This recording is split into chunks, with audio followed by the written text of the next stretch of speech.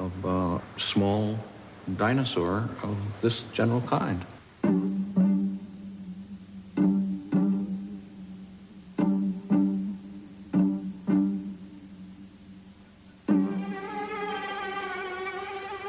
Without those feather impressions, it would have been impossible to actually say that this was a bird. Because if you look simply at the skeleton of this creature, the skeleton is that pretty typically of a little carnivorous dinosaur. The bird dinosaur nature of Archaeopteryx prompts other questions. Could it fly like a bird? The main feature which distinguishes Archaeopteryx from other dinosaurs is that it's got feathers. And we think they acted aerodynamically. Now, if you look at the feather of a modern bird, like this swan, and compare it with the feather of Archaeopteryx, you see exactly the same structure. Central shaft with veins radiating off it. What's most important, the shaft doesn't run down the middle of the feather, it runs slightly off to the side. That means the feather aerodynamically is optimally designed. There's no reason for Archaeopteryx to have a feather like that unless it flew. I wouldn't want to say Archaeopteryx is definitely an ancestor of all modern birds, but it is the closest specimen we've got to that lineage. I like to think of it as a almost a snapshot in time, of course, uh, evolutionary change in, in the act of changing. Evolution caught in the act?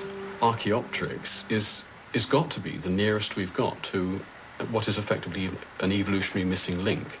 It's lying very, very close to the borderline between what is effectively a true dinosaur and what is perhaps one of the earliest known birds. Archaeopteryx is the nearest we'll ever get to catching evolution in the act.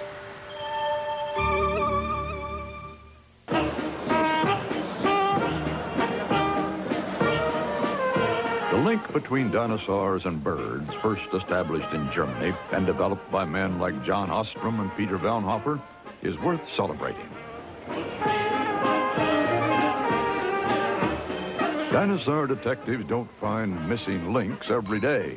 But as they toast, other investigators are proposing even more radical ideas. In America, some now suggest that the most fearsome meat eater of all time, T. rex, is closely related to a bird. Bob, where do you stand on this bird-dinosaur link controversy?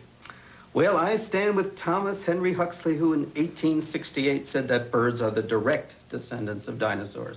When he pointed out, still true today, you look at a meat-eating dinosaur like Tyrannosaurus rex, and the hind foot looks like a bird. It's got three toes that face forwards, little toe in the back, short torso, curved neck, uh, short but strong front legs. The overall gestalt is like a bird. But now we have a lot more evidence. If you look at a bird head, this is an ostrich, and it's the eye socket there, and look at how the um, jaw attaches to the head. Well, it attaches right there, and there's a, a pair of grooves that are that are oblique. They go inwards and forwards, and lower jaw slides when an ostrich bites, slides. There's only one type of prehistoric animal that has a sliding jaw joint like that. Only one.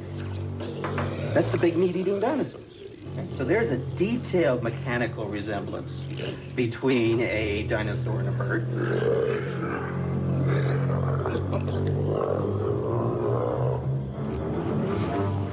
This gigantic jaw could slide backwards and forwards just like a four-foot-long ostrich jaw.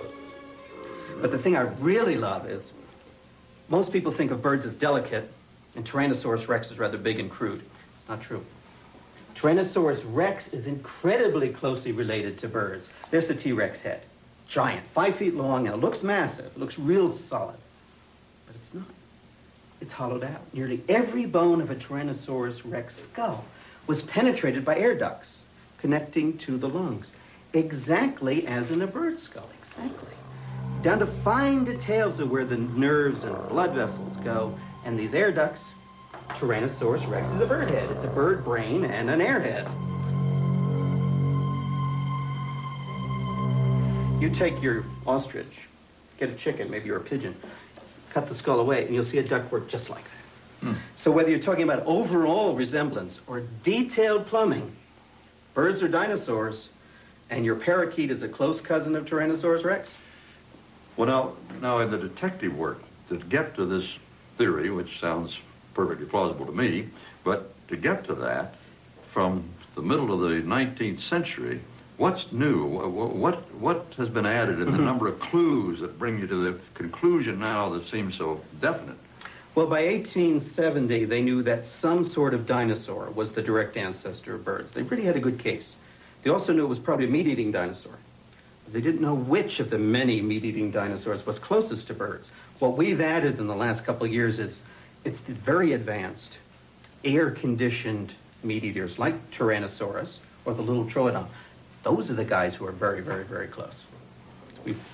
But so, so really, in all these years that we've been talking about the extinct dinosaur, right. we've just been wrong. That's right. Dinosaurs aren't extinct. You can think of Tyrannosaurus rex as the 8,000-pound roadrunner from hell. While meat-eating dinosaurs have their own evolutionary tales to tell, so too do the plant eaters. Living alongside Archaeopteryx, there were the giant dinosaurs like Diplodocus and Brachiosaurus. These were the first creatures ever to feed upon tall trees. To do this, they had to evolve extremely long necks.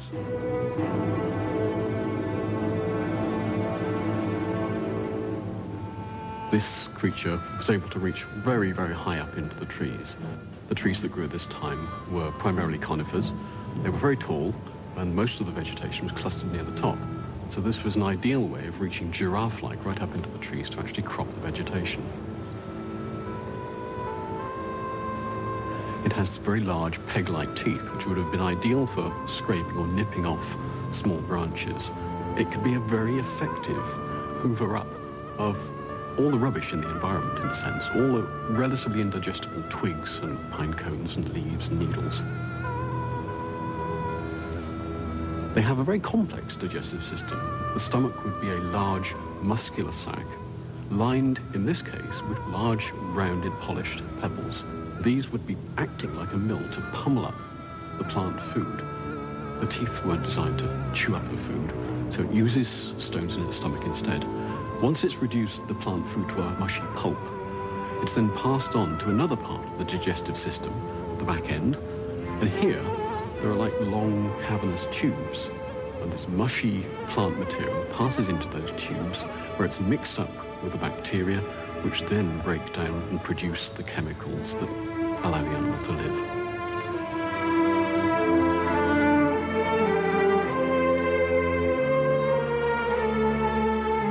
Against these giant feeding machines, the plants fought back. From their struggle to survive, a more varied and beautiful environment began to emerge. Any large herbivore has a tremendous effect on the vegetation that it eats, and to tear down trees, to uh, remove large branches and that sort of thing, um, that has an effect on the vegetation. It has an effect on individual trees, and it also opens clearings in the forest. And elephants act in that way even today um, large trees um, may, in a sense, not have any choice but to defend uh, what they are. And so they would develop mechanisms of defense, for instance, um, spines or uh, sharp-pointed leaves or perhaps uh, chemical toxins that would, that would uh, deter those big herbivores. But if you're a small plant, a weedy thing that um, doesn't have a very big body to begin with, it may be that it's much easier rather than to try to defend that to, to begin to grow very rapidly, to get through a life cycle quickly before you're eaten. So I think the first flowering plants may have fallen very naturally into a, a, a defense mechanism that wasn't so much a defense as it was an escape from, from herbivores, from the big dinosaurs that, that uh, were, were after them. The next wave of big plant eaters had short necks, fed close to the ground.